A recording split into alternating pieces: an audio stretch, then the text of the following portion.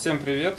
Цель данного видео – объяснить устройство и принцип действия раздаточной коробки TOD, полный привод которой работает за счет зажатия пакета фрикционов электромагнитной муфтой. Для начала давайте посмотрим, как работает раздаточная коробка в сборе в различных режимах. В режиме заднего привода передние и задние оси могут свободно прокручиваться друг относительно друга. При необходимости или по команде водителя система активирует полный привод. Для этого на катушку электромагнита в раздатке подается бортовое напряжение 12 вольт. Если теперь попытаться провернуть переднюю и заднюю оси друг относительно друга, мы видим, что это возможно, но лишь на небольшой угол, по достижении которого оси сцепляются между собой, и провернуть их далее друг относительно друга руками не удается. То же самое происходит и если вращать их в другом направлении.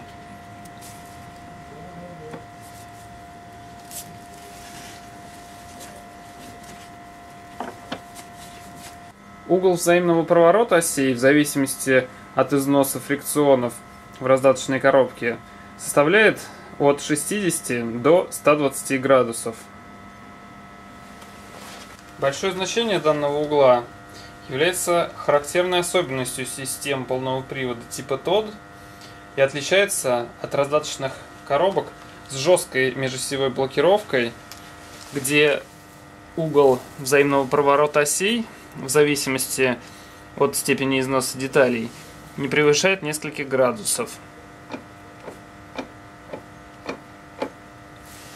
Более подробно о причинах столь большого люфта речь пойдет далее. Также в раздаточной коробке предусмотрен понижающий ряд передач, который активируется сервоприводом. На повышенной передаче количество оборотов входного вала э, раздаточной коробки совпадает с количеством оборотов э, карданов. Для включения понижающего ряда необходимо повернуть ось выбора режимов против часовой стрелки примерно на 3 четверти оборота.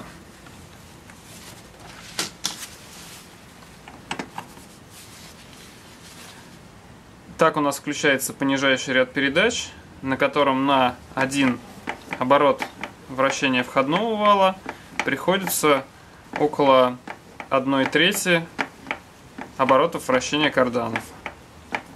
Теперь разберем раздаточную коробку и подробнее остановимся на ее устройстве. К ведущей шестерне заднего вала пристыкована корзина фрикционов. Корзина фрикционов состоит из двух частей. Внутренней части с наружным шлицом и внутренним шлицом, который одевается на шлиц главного вала и жестко связано с ним. И внешней части э, с внешним шлицом или с внешними насечками, которая одета на ведущую шестерню переднего кардана, которая просто свободно прокручивается на главном вале. Мы видим, что внешняя часть относительно внутренней части корзины фрикционов между собой свободно проворачиваются. Начинка корзины фрикционов – это фрикционные диски.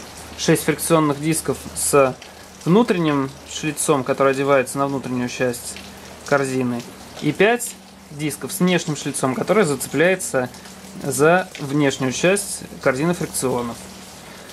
Для того, чтобы у нас полный привод заработал, нужно синхронизировать вращение внешней части корзины фрикционов и внутренней. Это производится сжатием пакета фрикционов в направлении коробки передач. Подробнее стоит остановиться о том, каким образом именно раздаточная коробка TOD производит зажатие пакета фрикционов и активацию полного привода. Итак, зажатие пакета фрикционов производится так называемой кулачковой муфтой. Кулачковая муфта состоит из трех частей. Первая часть – это сам кулачок, то есть это диск с внутренним шлицом, который одевается на шлиц главного вала. Мы видим, что в этом диске выполнены три канавки. Как мы видим, канавки на кулачке выполнены под шарик – и выполнены они с переменной глубиной. То есть э, глубина по краям небольшая, в центре глубина максимальная. Также мы видим, что в самом центре каждой канавки выполнена проточка. Это так называемое положение покоя шариков в кулачковой муфте. Вторая часть э, кулачковой муфты – это, собственно, корпус электромагнита, то есть его внутренняя часть аналогична кулачку. Там тоже выполнены канавки, и также в каждой канавке есть положение покоя для шарика. А внешняя часть представляет собой корпус электромагнита, э, в который, собственно, и вставляется электромагнит для активации кулачковой муфты. Мы это увидим позднее. Рабочими элементами клочковой муфты являются шарики. Шарики – это именно тот элемент, который обеспечивает э, изменение длины кулачковой муфты или же ее распор. Если мы сдвинем шарик из положения покоя в любую из сторон, мы видим, как он постепенно выходит из канавки за счет уменьшения ее глубины. Если мы шарик отпустим, он просто сам вернется в положение покоя, потому что в нем он находится в положении устойчивого равновесия. Точно так же и в другую сторону. Таким образом, если мы соберем кулачковую муфту, а для этого нужно поместить кулачок на шарике в корпусе электромагнита, мы увидим, что в положении покоя высота кулачковой муфты такая. Если мы провернем кулачок относительно корпуса электромагнита, то мы увидим, как за счет распора шариками при их движении по канавкам кулачок отодвигается от корпуса электромагнита. Вот. Таким образом и происходит изменение длины в кулачковой муфте. Следующей деталью в корзине фрикционов является нажимной диск. Нажимной диск это металлический диск с ровной поверхностью и внутренним шлицом. Одевается он на внутреннюю часть корзины фрикционов, а гладкой частью прижимается к крайнему фрикциону.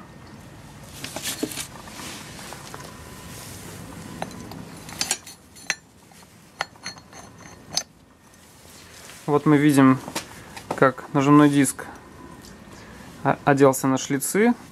Вот, и имея возможность двигаться по шлицам э, при нажатии вот на эту часть, он зажимает фрикционы в пакете. Последней деталью в корзине фрикционов является металлический зубчатый диск. Он представляет собой, собственно, крышку корзины фрикционов и вставляется своими зубчиками в пазы внешней части корзины фрикционов.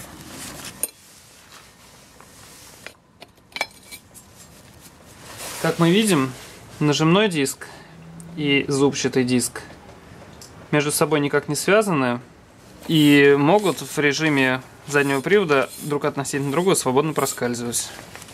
Далее, как мы видим, к внутренней части корзины фрикциона одевается возвратная пружина. Ее функции мы рассмотрим чуть позже. Теперь нам нужно полностью собрать кулачковую муфту. Для этого мы помещаем шарики канавки.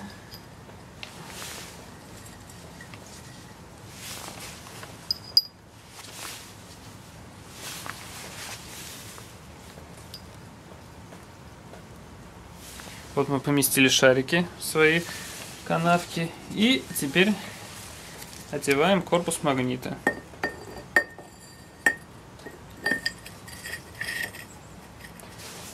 Вот мы одели корпус магнита. Как мы видим, с главным валом он у нас никак не связан. С главным валом у нас связан кулачок. Последней деталью, которая одевается на вал, у нас является подшипник корпуса магнита. Одной своей частью он прижимается к корпусу магнита, а другой упирается в корпус раздаточной коробки. Ну и для наглядности, собственно, вставляем в корпус магнита сам электромагнит. Вот этими гайками и шпильками он крепится к крышке раздаточной коробки. То есть магнит у нас пристыкован к крышке и никак не крутится. Корпус относительно него может проворачиваться при необходимости. У электромагнита есть плюсовой кабель, минус находится на корпусе или же на шпильках. Мы сейчас имитировали собранную раздаточную коробку. То есть за счет подбора отрезка трубы подходящего размера и наворачивания штатного фланца кардана, значит, затягивания его гайкой, мы выдержали все размеры. Вот, так что у нас теперь расчетное расстояние между корпусом магнита и корзиной фрикционов, оно у нас такое, как оно на собранной раздатке. То есть, по сути, сейчас это практически работоспособная система. Сейчас мы увидим, как она работает. Кулачковая муфта по умолчанию находится в сжатом состоянии. Корпус магнита продольно зафиксирован крышкой раздатки, ну или в нашем случае трубкой. А кулачок, вот мы видим его выступающую часть в, в, в просвете между корзиной и корпусом магнита, он прижимается к корпусу магнита возвратной пружиной. Шарики зажаты между корпусом магнита и кулачком и стремятся занять положение в наиболее глубокой части канавок, в проточках. Таким образом, в положении покоя кулачок никак не воздействует на нажимной диск корзины фрикционов. А, как мы видим, между кулачком и корзиной фрикционов есть небольшой просвет. Обе половинки муфты, и кулачок, и корпус магнита при этом вращаются синхронно с задним карданом. Вот мы видим, как корпус магнита и кулачок синхронно вращаются с задним карданом. И передняя и задняя ось при этом свободно могут друг относительно друга проворачиваться. При активации полного привода необходимо сжать фрикционные диски и синхронизировать вращение передней и задней оси. Для создания давления на пакет фрикционов нужно переместить кулачок в направлении нажимного диска. Это возможно сделать единственным образом. Вывести шарики из положения покоя, чтобы они начали распирать половинки муфты, раскатываясь по противоположным краям канавок и толкая кулачок в направлении нажимного диска. Иными словами, необходимо провернуть кулачок и корпус магнита относительно друг друга. Если мы зафиксируем руками задний кардан и попробуем проворачивать относительно него корпус магнита, мы видим, как там вот внутри кулачок отдаляется от корпуса магнита и нажимает на нажимной диск. Так как кулачок жестко сидит на шлицах вала, изменить свое вращение относительно него он не может. Корпус магнита же не имеет жесткой связи с главным валом, поэтому провернуть его относительно главного вала и кулачка возможно. Остается найти в раздатке деталь, которая вращается со скоростью отличной от скорости вращения главного вала, и зацепить ее за корпус магнита. Такая деталь – это задняя часть корзины фрикционов, а именно зубчатый диск.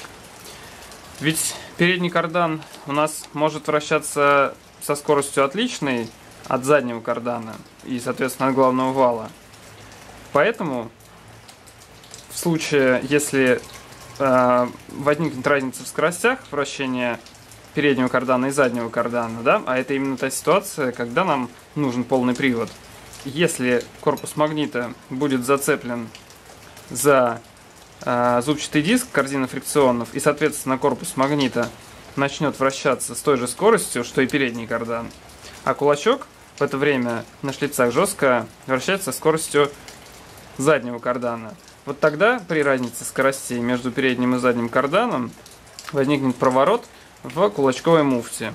И шарики пройдутся по канавкам, разопрут половинки муфты, и, соответственно, кулачок будет воздействовать на нажимной диск, а нажимной диск будет зажимать пакет фрикционов в корзине. Таким образом возникнет синхронизация или зацеп а, передней и задней оси. Вот тут у нас как раз вступает в дело электромагнит. Давайте посмотрим, что он делает, если на него подать напряжение 12 вольт. Вот мы подсоединили источник питания к корпусу магнита. Давайте его включим. мы видим, что корпус магнита притянул к себе зубчатый диск. Зубчатый диск немножко вышел из э, шлицов корзины фрикционов, и они теперь друг к другу плотно прижаты.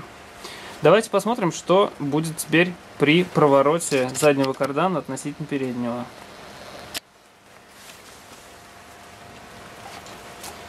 Все, мы можем провернуть задний кардан относительно переднего только на определенное расстояние. А именно, когда клочковая муфта выберет свободный ход. Происходит это потому, что у нас теперь корпус магнита и корзина фрикционов, они у нас теперь притянуты друг к другу и связаны. И, соответственно, корпус магнита у нас теперь начинает вращаться со скоростью переднего кардана. А кулачок сам продолжает вращаться со скоростью заднего кардана, поскольку сидит на шлица главного вала. И когда возникает проворот переднего кардана относительно заднего, шарики выходят из канавок и, соответственно, распирают две половинки, а тем самым кулачок воздействует на нажимной диск, поджимает фрикционы, и фрикционы, соответственно, обеспечивают сцепление э, в корзине фрикционов. Вот, и тем самым синхронизирует вращение переднего и заднего кардана. Давайте еще раз посмотрим. Вот и все. Если мы отключим питание,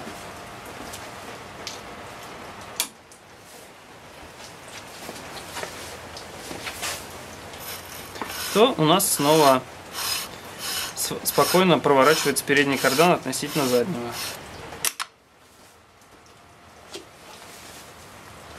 Так, проскальзывание ограниченное.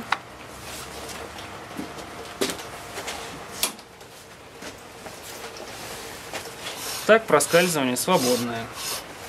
Отдельно стоит остановиться на автоматическом режиме работы раздаточной коробки. Автоматический режим работы построен на варьировании по команде блока управления раздаточной коробкой сжатия пакета фрикционных дисков. Различные усилия сжатия пакета фрикционов достигается за счет регулирования расстояния, на которое разбегаются шарики по своим канавкам. Это расстояние зависит от того, насколько корпус магнита далеко провернется относительно кулачка. Поскольку у нас корпус магнита фиксируется относительно корзины фрикционов э, путем прижатия зубчатого диска магнитными силами, корпус магнита сцепляется с э, корзиной фрикционов и проворачивается на определенный угол относительно главного вала. Однако совсем провернуться корпус магнита относительно главного вала не может, поскольку когда кулачок э, достигает нажимного диска, движение шариков останавливается. И, соответственно, после достижения крайнего положения и касания кулачком нажимного диска синхронизируется скорость корпуса магнита и главного вала, то есть задней оси. Однако, если сила, которая вращает передние колеса, будет выше, чем сила трения между зубчатым диском и корпусом электромагнита, которое вызывается прижатием их друг к другу, то в определенный момент возникнет проворот между зубчатым диском и корпусом магнита. Тем самым дальнейший раскат шариков по канавкам и, соответственно, дальнейшее сжатие пакета фрикционов прекратится. Тем самым будут, будет достигнута одна степень сжатия фрикционов.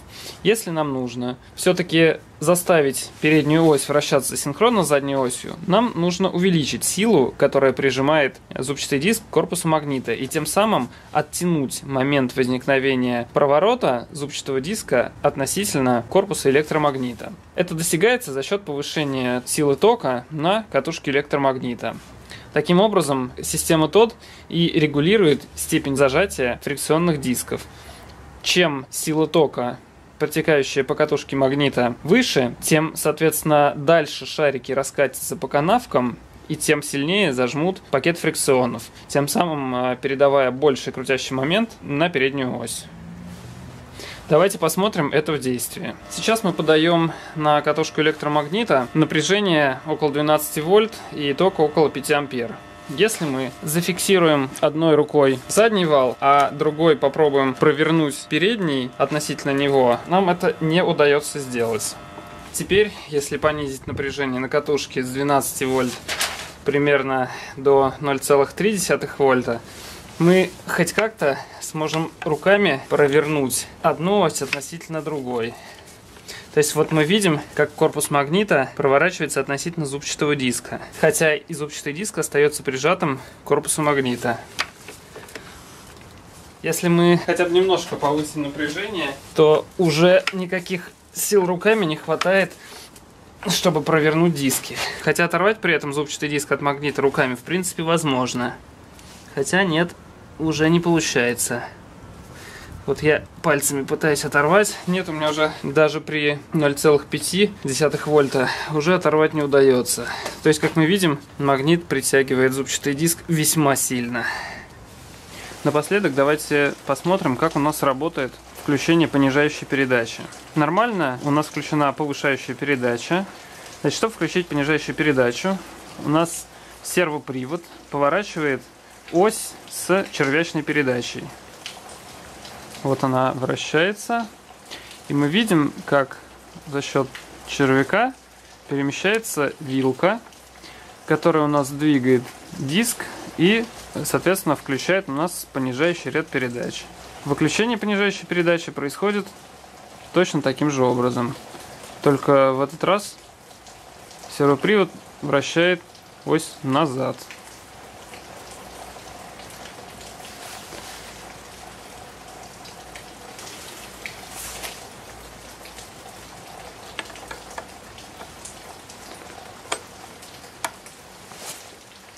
Заключение хотелось бы сказать, что система ТОТ является вполне современной и развитой системой полного привода.